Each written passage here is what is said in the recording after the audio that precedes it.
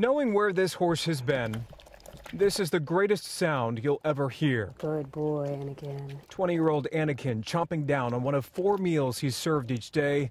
His progress is slow and steady. The brightness, the personality coming through.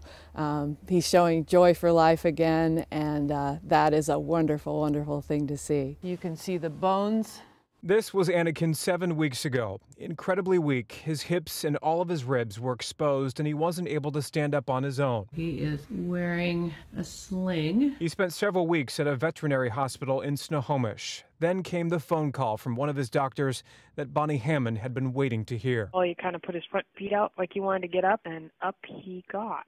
when we listened to that mail, we cheered and we cried and we were so relieved. We were going to be able to give this horse the thing we most wanted to give him, and that is a second chance. Go for walks? Some of Anakin's bones are mm-hmm. still visible, but he's gained about 100 pounds since being rescued by Hammond's group Safe back in December. Watch your step. Good job. For the past two weeks, employees here have taken him on daily walks around this pen.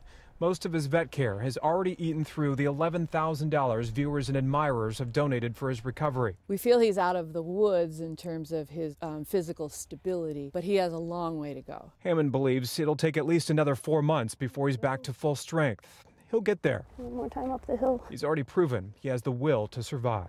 Good job. Once Anakin is healthy, he will be available for adoption, and SAFE tells us they plan to keep track of his progress for the rest of his life. In Woodinville, Steve McCarron, KOMO News.